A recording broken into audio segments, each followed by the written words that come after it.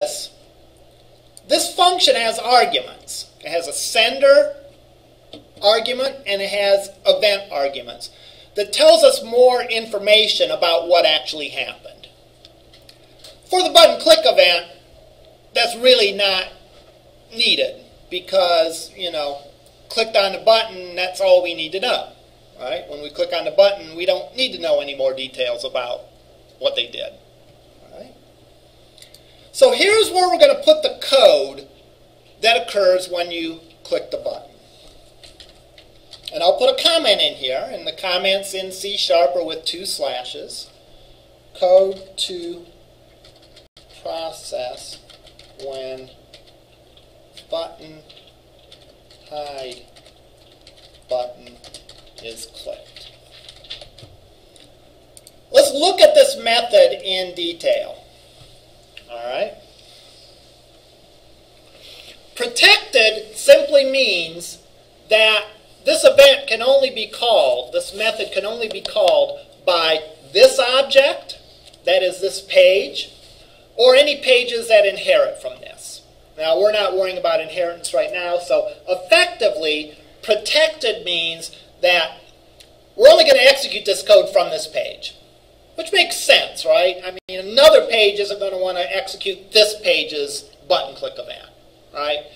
If anything, that page will have its own button click events that will get executed. Void means that this method doesn't return anything. All right? If you've done, you know, Visual Basic coding, you've created functions and you have specified a return value. And you specify what type that return value is. All right? Uh, in this case, there is no return value, so you say void. All right? In Visual Basic, if there is no return value, it's called a subroutine instead of a function. Here, there's really no distinction between the two. Uh, uh, you, you can have a function that simply doesn't return anything. Here is the name of the function, and here is the events that or I'm sorry, the arguments get, that get passed to this function to give more details about exactly what happened when you clicked it. Again, not really relevant in this case. So, what happens is the framework is set such that when the button is clicked, this is the code that's going to fire. All right? So, now what I have to do is I have to make it work. What do I want to do? I want to take this calendar and make it invisible. All right? Now, to do that, we got to know two things. We got to know how to point to that calendar, all right? And we have to know how do we make it invisible? We point to things via their ID. So, for example, this calendar has an ID of calendar 1. So the code that we write is going to say calendar 1 something. All right? Because we need to point to that element on the page. Point to the name of that object. Now, how do we change anything? Well, remember, this is an object-oriented environment. We change things by accessing the object and calling certain methods on that object or by setting the properties of that object. So, we already saw the visibility property of this is simply visible. Alright? So what we have to do is we have to point to that calendar and say the visible property we don't want as being set to true, we want it set to being false. All right. So let's go and do that. I'll go in the code behind, and I will say when that's clicked on,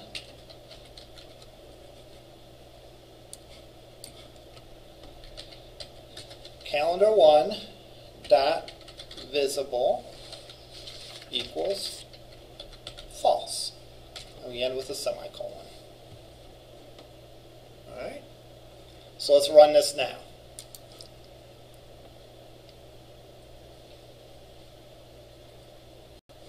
Hide calendar. Boop. It's gone. Our show calendar really doesn't do anything. Now notice if I click hide calendar again, it stays hidden. All right, well, one second. If I click refresh, it stays hidden. Why? Because the server remembers the state of that. We set the visibility property to, to not being visible. So the server remembers that. It maintains the state every time we click that button.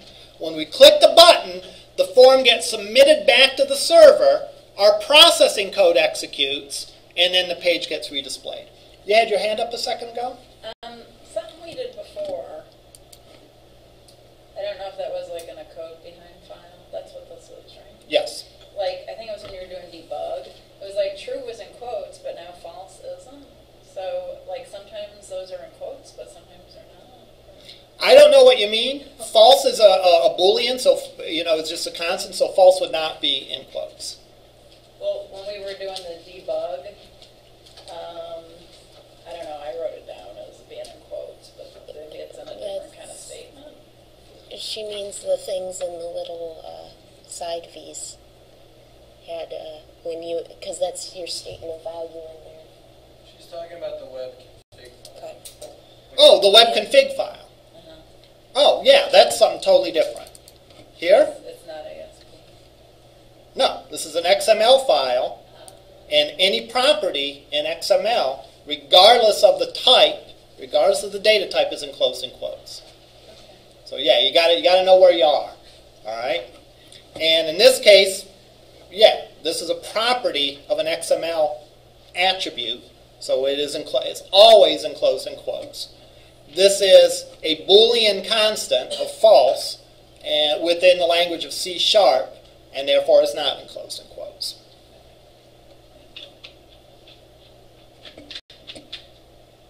Was this case sensitive?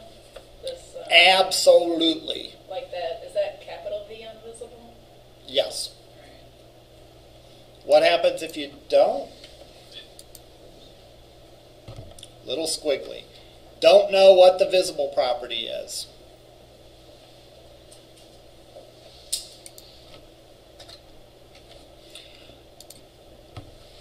For those of you that have done VB before, uh, VB was not case sensitive. So you could say X or capital X, and you're pointing to the same variable. In C sharp, if you have X and capital X, those are different variables. It doesn't know that as being the same. Likewise, the visible property, you know, if it says it starts with a capital V, it starts with a capital V. All right. If it's calendar one with a capital C and everything else lowercase, then that's how you have to put it in. Notice also that the statement ends with a semicolon. Is that VB2? No. No semicolons in VB. All right. Now let's go in and let's make the page to make it visible again. This should be pretty straightforward, right? I can go in, I can double click this button. What that will do is that will open up the code behind, take me to the default event of that control. Well, the default event of a button is click on.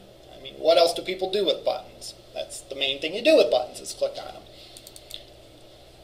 And then I can go in and effectively copy this code.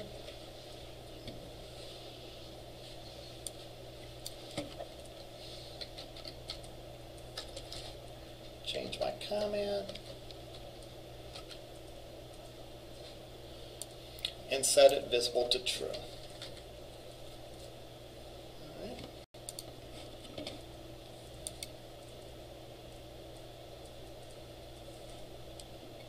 So I can hide it, I can show it.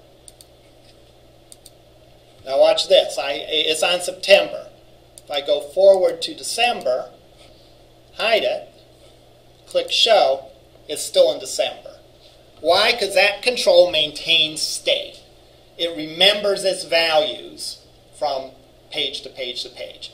Now, a couple important things to remember, or an important thing to remember that I don't think I explicitly said, but if you thought through it, you could sort of reason this out. These are submit buttons. What does a submit button do? Let's review HTML. It sends the code back to the server for processing. All right? Now, in this case, it might not be obvious that that's happening. All right? If I click on one of these buttons, if you look very closely, it's telling me that it's reloading the page. You can see it click or maybe not, depending on that. Because these are submit buttons. You can view a source of this, scroll down, look at the buttons. These are submit buttons, which means that this goes back to the server. Well, what script does it go back to? Well, it calls itself because the action of the form is itself. So it goes back to the server and calls itself. Then, any of the code, once the server is going through the second step, all right, um, that's where my code behind kicks in and causes it to be visible or invisible. Let's diagram what's happening here. Let's draw this on the board. Because again, in web development, it's really important to understand um, the manner in which the client and server communicate. Because if you don't, then some things are just going to seem just mysterious to you or crazy. So,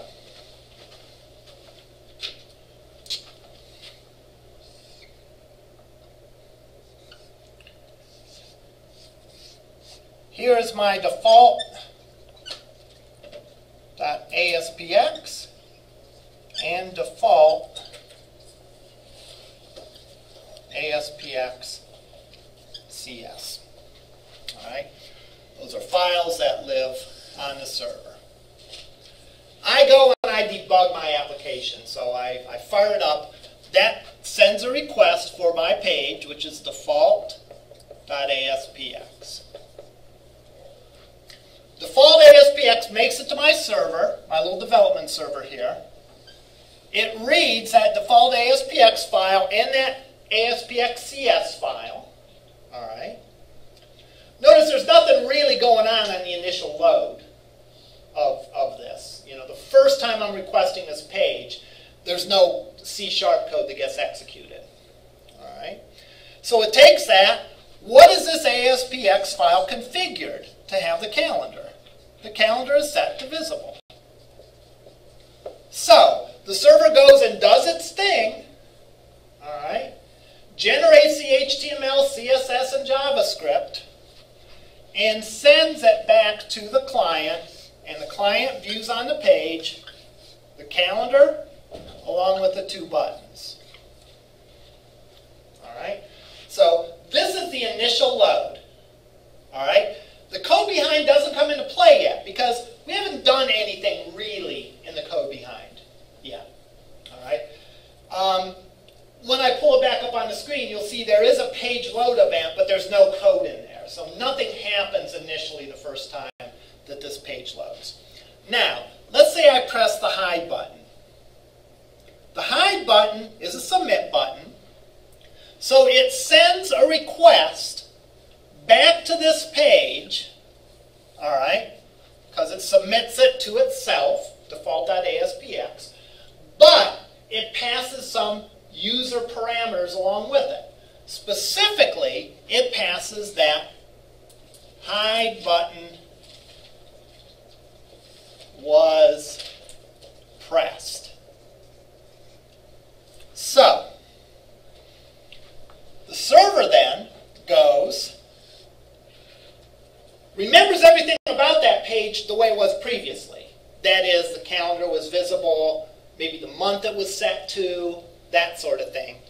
But then, aha, the hide button was pressed. I'm therefore going to execute the code to hide that, and I'm going to send back a web page that doesn't contain the calendar control, that just contains the hide and the show buttons.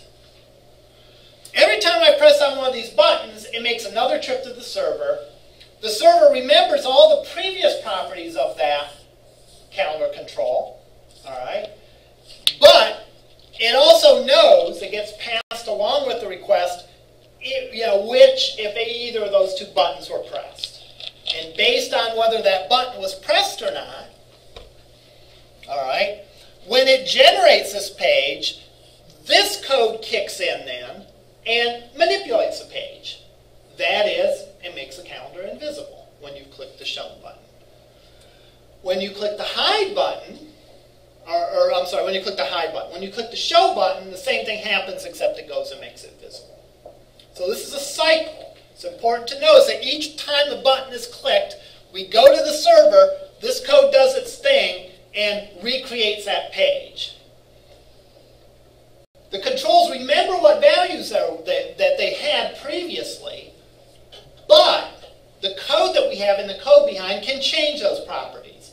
In this case, we're only worried about the one. We're changing the, the um, visibility property, making it visible, making it invisible. Questions about this? Yes. Um, when you were talking about the hidden fields in the source file, Yes. um, you said that that makes stuff available to subsequent pages. Yes. Subse- subsequent post back to itself, I should say. Okay, so subsequent copies of the same page. Yeah, as part of the same, yeah, not other pages. Oh, okay, that- Yeah, that's the So same. if, if you clicked on the link Mhm, to another page, then all that stuff's gone. Correct. All right, now let's think this through. We got this working. Let's think of what we'd have to do.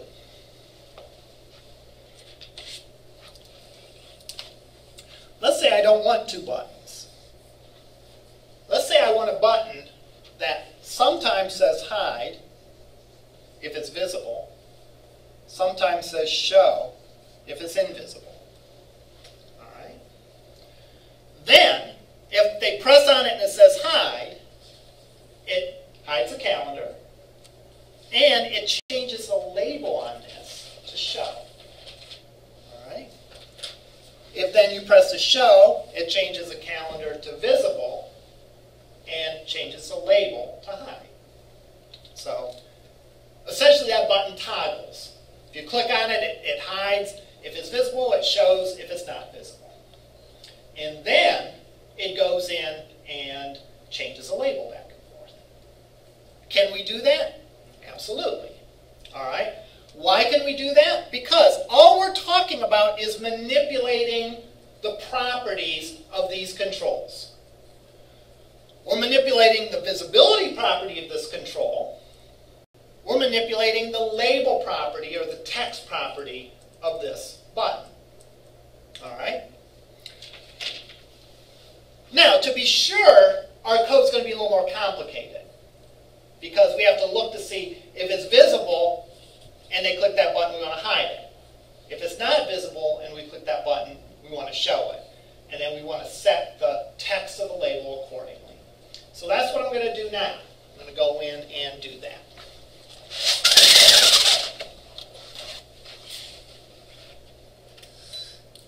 So let's go in and let's create a little toggle button.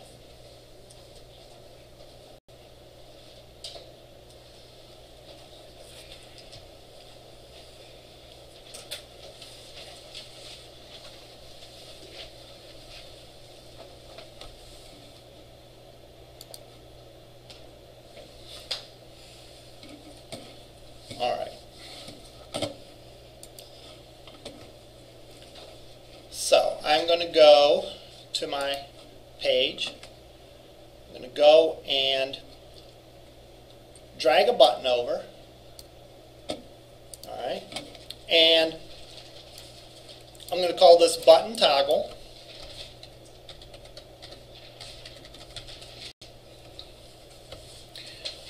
I typically use the convention of taking my controls and just making like um, the first part of it being like a three character abbreviation of them, BTN toggle, you know. But some people like to write out forward button toggle. Whatever you do, as long as you're consistent, you're okay.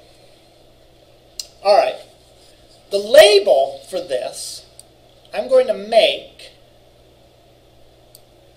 since it's starting off visible, I'm going to make the text of the button say hide.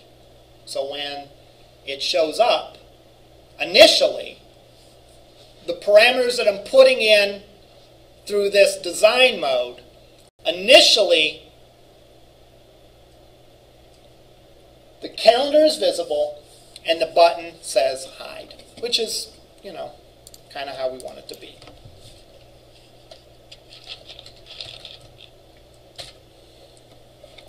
Now, let's go in and double click this to get to the code behind on it. Now, what do you suppose the code behind is going to look like here? It's going to be an if statement, right? We're not doing the same thing every time we click on this button. We're essentially, um, if the button's visible, I'm sorry, if the calendar is visible, we want to hide it and change the label on the button. Otherwise, we want to show it and change the text on the button. So I'm going to put an if statement in here. So I'm going to say if calendar 1 visible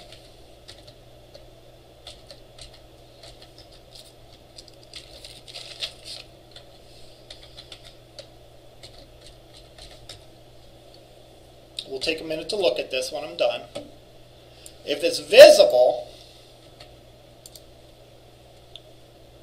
I want to set the visibility property to false, right? Because I can already see it. I just want to change it to invisible. If it's not visible, then I want to set the visibility to true. Now that's only part of the job, right? I want to change the text on the button. What's the text property of the button? If I look at that button, the text property says it's text. So I can just say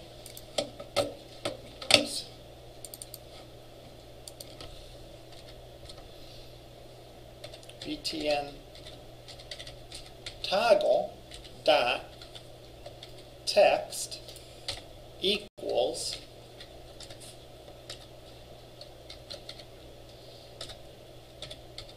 show.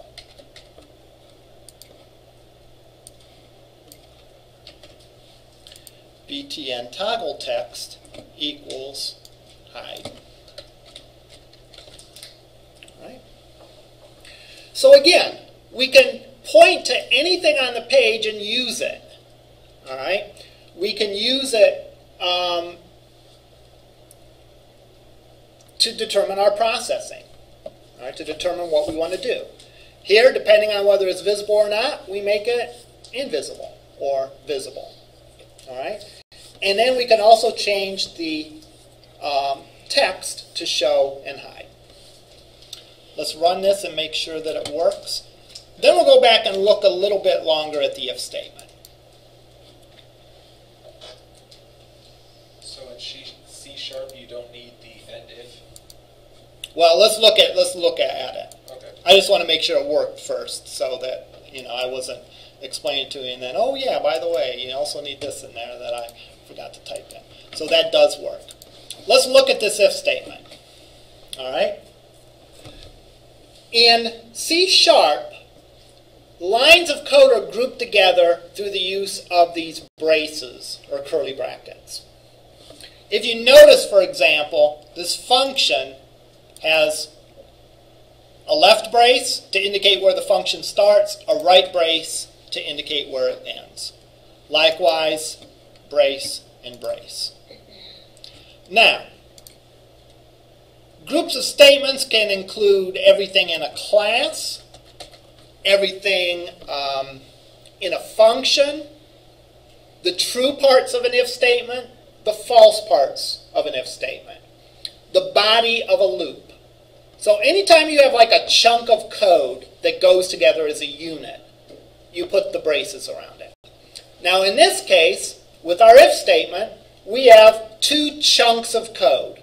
We have a block of code that we want to execute if the condition is true. We then have a block of code that we want to execute if the condition is false. All right? So, the way the if statement works is we have the word if, we have a condition that's enclosed in parentheses. All right? If that condition is true, you do the statement between the brackets that follow. Otherwise, you do the statements between the second set of brackets there. Braces, curly brackets, however you want to call it. So this is the true part of the if.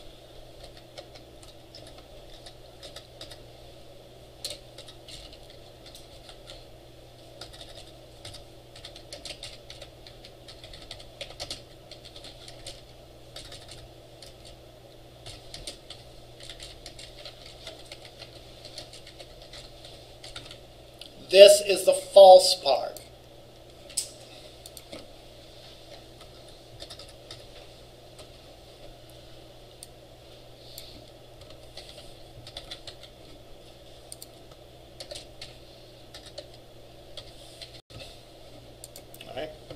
So to answer your question, no, there's no and anythings. All right. If you have a block of code that goes together, it, will the, the end of it will be indicated by the brace. So this indicates the end of the true part of the condition. This indicates the end of the else condition. So, um, I know not in this case there would be any, but, um, else ifs? Are there, are there still else ifs? Um, yeah, I believe they are. What I typically do is I would put another if nested inside of that. Oh, okay. Yeah. That's that's cleaner code for me, but you know your mileage may vary. Now, with all these braces flying around, you better do a good job indenting your code properly. All right? Because if not,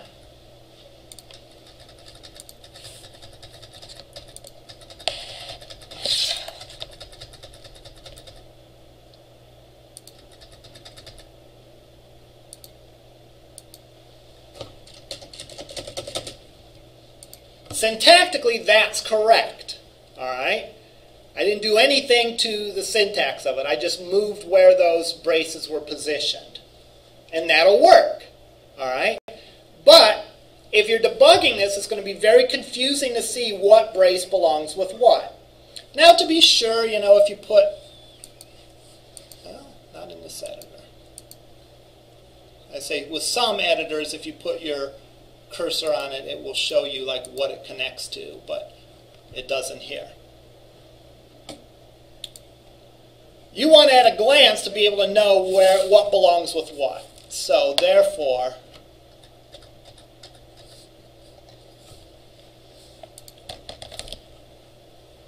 if I do this,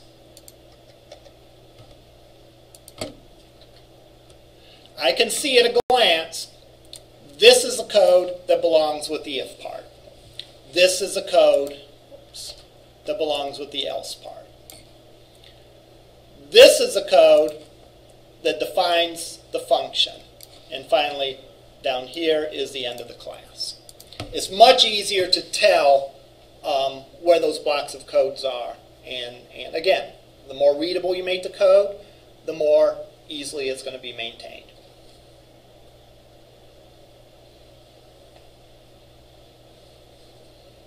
Now, um, usually there's one or two things people do. Either people do like this, where they put the, the, the, the, the first brace aligned with the I, and the ending brace aligned with the I. Sometimes you'll see people that do this, that put the first brace at the end of the line and put the end brace over here. Um, it really doesn't matter as long as you're consistent with it.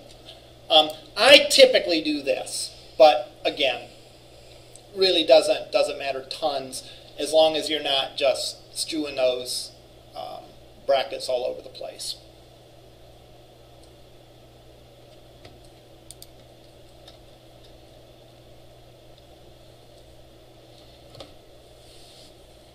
A lot of times when you're running code, you know, the mistake will be you're missing a, a, bracket. Well, if you take this strategy, it's very easy to line it up and to see